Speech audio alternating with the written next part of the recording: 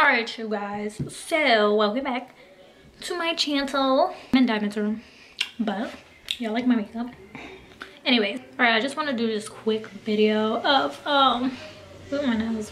Just wanted to do this quick video basically like a review on this lip gloss that i got because i really wanted like a nice like you know neutral color type of lip gloss because i don't like clear but i like something with a little bit of color. You know what i mean? But what i got here is the covergirl melting pout lip gloss. And then this is the color that i got.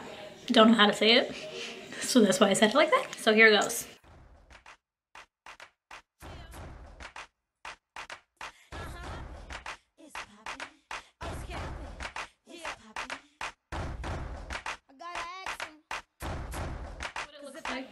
and I really like it y'all. Like hey. first of all it's not too dark. It's not too light of a lip gloss. It's like perfect. It's like lip like a lip color you know what I mean? So that's what I like about it. It's everyday type of lip gloss.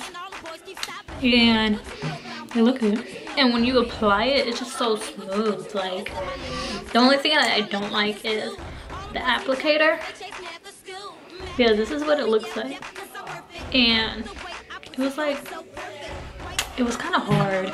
Like when i first was putting on it was just like it's weird i don't know. I feel like it's just too too stiff or something. It needs something like more softer. But other than that i really like the lip gloss. Like i really think it looks really cute. On me you know what i'm saying my skin complexion it really looks good overall. And it does give my lips that pout that it says on it that melting pout really does.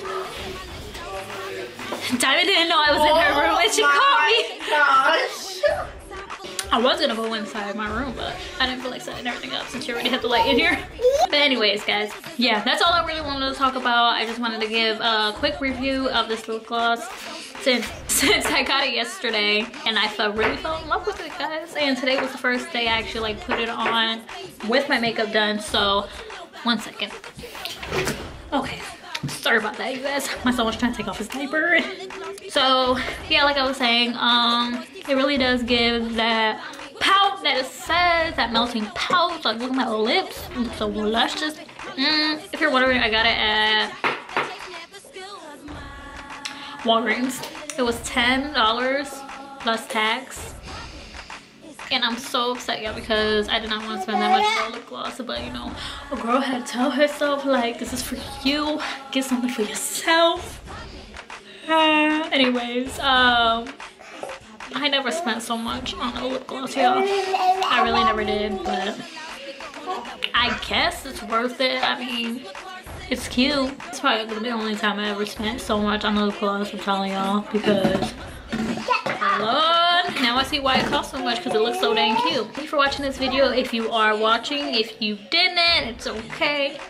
You ain't gonna see this. Other than that, like, subscribe to my channel, and let me know in the comments down below what you think. Bye!